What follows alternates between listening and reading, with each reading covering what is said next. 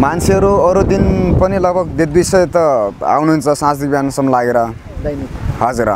शनिबार त झन् धेरै नै आउनुहुन्छ पाँच सयदेखि माथि नै आउनुहुन्छ। अरू कुनै बिदा परियो कुनै बार स्पेसल डे भनौँ न त्यस्तो पऱ्यो भने त झन् यहाँ लगभग टन्नै पचकै हुन्छ यता।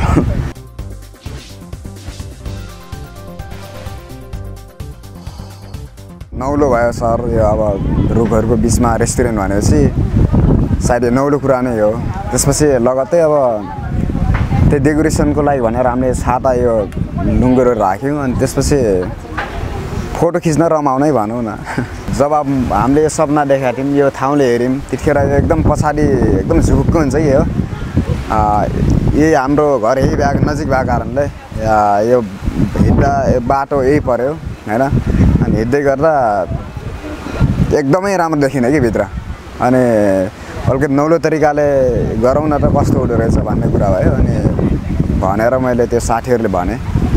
अनि त्यसो उहाँहरू मन्जुर हुनुभयो त्यसपछि सुरु भयो सर यहाँ। जग्गा चाहिँ हामीले लिजमा ल्याएको छौँ सर यो अरूको सर हामी भाडामा ल्याएको छौँ कति वर्ष लाग्यो? यो खासमा पाँच वर्ष लागेको छ सर। सम्झौता हाम्रो वार्षिक त्यही बैसठी हजार छ। केही पनि थिएन सर यहाँ पुरा के अरे पातै पात थियो। केही पनि थिएन। भित्र मान्छे आउनै डराउँथे भनौँ न एक प्रकारको। कति क्षेत्रफलमा छ नि यो? यो बाह्र कथा। हजुर सर बाह्र कथा। यो माथिको सेट लागेर लगभग तेह्र कथा जति होला नत्र बाह्र कथा छ यो तलको मात्र। के को रुख रहेछ यो? यो टिक भन्छ सर यो थाहा भयो टिक भन्छ क्या यसलाई। रुखहरू समथिङ तिन सय जति होला? हजुर तिन सय जति तिन तिन सय सायद तिन सय जति होला। अलिकति यो आकर्षक देखोस् भन्नको लागि हामीले खासमा यो पेन्ट गरेको छ। यो यो पनि त्यही डेकोरेसनमै भनौँ न एक प्रकारको डेकोरेसनमै ढाल्नको लागि। खासमा हामीले रेस्टुरेन्ट हो खोलेको तर मान्छेहरूको नजरमा चाहिँ यो एक प्रकार घुम्ने ठाउँ पार्क जस्तै बनाइदिनु भएको छ अहिले। यो डेकोरेसनको लागि भनेर हामीले यो छाताहरू यो सबै राखेका थियौँ।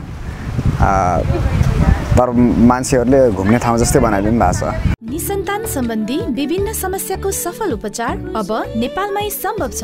वात्सल्य नेचुरल आइभीएफ अब नजिकको मान्छेहरू त खाजा खान नै आउनुहुन्छ अब टाढाको मान्छे चाहिँ अब टाढैबाट खाजी खानको लागि त यता आउने कुरा त हुँदैन।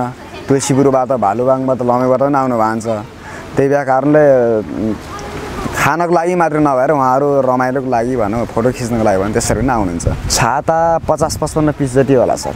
यहाँ त मैले फोटो खिचेर पनि देखेँ। के हो यो? कसले व्यवस्था? के छ यस्तो यो यस्तो छ सर। हाम्रो खासमा मान्छेको भिड होइन? हाम हामीले नास्ता रेस्टुरेन्ट त खोल्यौँ तर उहाँहरूले सबैजनालाई हामीले नास्ता खुवाएर भ्याउन नसक्ने भयौँ। त्यसपछि खासमा हामीले यो अहिलेको परिस्थिति हेरेर त बाहिर नै दस बिस रुपियाँ मात्रै टिकट राख्नुपर्ने रहेछ। तर त्यो पहिल्यैदेखि भएन त्यो व्यवस्था नभएको कारणले हामीले एउटा क्यामेरा राखेका छौँ। टिकटक टिकटकको पचास अनि अरू वेडिङ भिडियोहरू त्यस्तो अब पार्टी प्यालेस नै हामीले नाम जोडेका छौँ। अब पछि विवाह सिजनमा विवाहहरू यताउता सस्तो मस्तो त्यो टाइपको पऱ्यो भने भनेर हामीले त्यो जग्गा पनि माथिको छुट्टी ल्या ल्याएको छौँ हामीले। त्यो यदि भयो भने लिन्छौँ सर होइन भने त्यस्तो फोटोभन्दा अरू धेरै त्यति जाने फोटो खिचेर नर्मल भनेको छ सात सयदेखि लगाएर हाई भनेको दुई हजार तिन हजारसम्म। एकदम लान्छ अलिक धेरै मान्छे आयो भने तपाईँको कति कारोबार भएको छ?